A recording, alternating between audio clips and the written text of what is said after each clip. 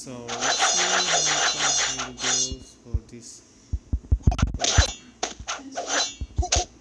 Part.